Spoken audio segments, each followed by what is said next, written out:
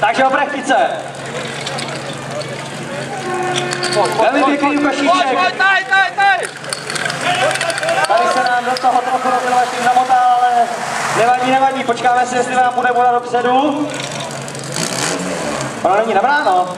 No já jsem sledoval takovou přetahovanou mezi strojníkem a předavem. Jako děti musíte nabrat. Šup. Raz, nabrat. dva, tři. Kluci, zabojujte, třetí místo Třetí místo ve vzduchu. útok. Místo visí ve vzduchu.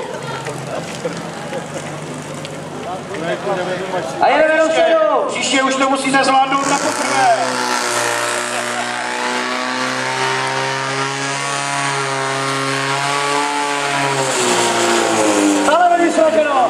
55, 25. A je to třetí místo. Nádhera.